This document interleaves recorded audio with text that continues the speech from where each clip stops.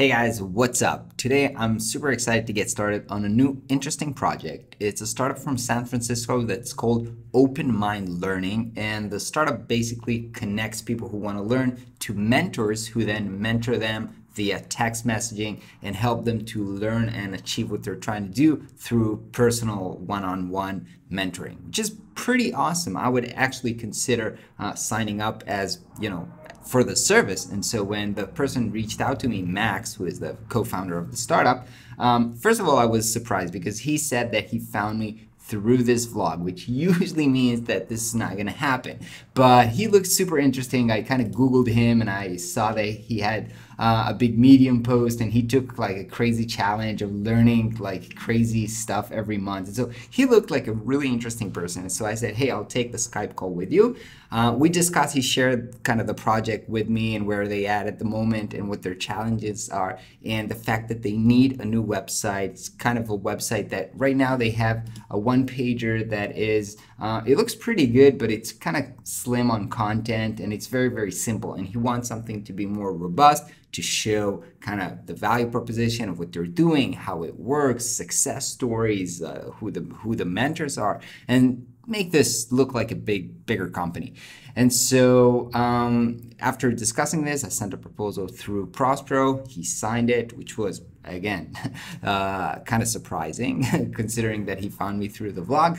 But uh, anyway, I'm super excited. Today is the kickoff meeting and we're going to discuss the content strategy. So what that means is we're actually going to understand what are the value propositions that his startup and how they want to present it. So I kind of created a Google Doc uh, of stuff that I want to ask him and I want to, after, you know, doing some research, um, thoughts that I have, things that I want to clarify with him. So I'm going to go over this with him and most of the conversation is going to revolve around the content and the strategy of the website. And then we're going to talk a little bit about visuals, kind of different visual approaches, show him some different approaches that we can take, see where he's at, and uh, try to get a feel for the project before I get started working on the wireframes. So let's go and do this talk.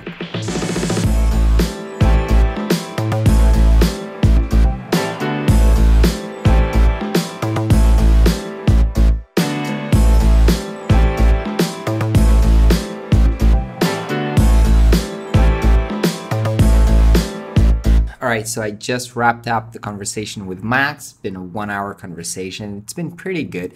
Been going over the kind of doc that I showed you and filling in the gaps. So it was kind of like a strategy talk because I was asking him a lot about how he helps his customers and who is the kind of the potential customer that he wants to attract the most. And actually asking him those questions kind of really helped him to understand how he wants to focus his business on. So he told me it was really, uh, you know, really important for him and really helpful from like a company and strategic uh, position, except for you know helping him build the website. So I feel that was pretty good. I got all the info I need to get started on wireframes and building the content for the website. Second part of the conversation, I showed him kind of like. Uh, different different types of, of websites. So websites with illustrations websites with photos to try to get the uh, sense of what approach uh, he was looking for. By the way tons of people ask me where did i collect the references? And there's this uh, website lapa ninja which kind of collects and categorizes landing pages so you can get good reference over there. And we're probably going to go with a direction of illustration, which is pretty cool. Um, I think we can do something really nice around that. And so next step for the project is I'm going to get started on wireframes. I'm going to share them uh, probably on InVision to get some comments. We're going to work on that together. Also send like more concrete references for illustration to pick which direction we want to go for that's what I'll be doing next week. And then week after that, we'll get into the design process. Sounds like a really, really fun project and really great company to work with. So I'm excited. Hope you guys are having a great day and I will catch you tomorrow.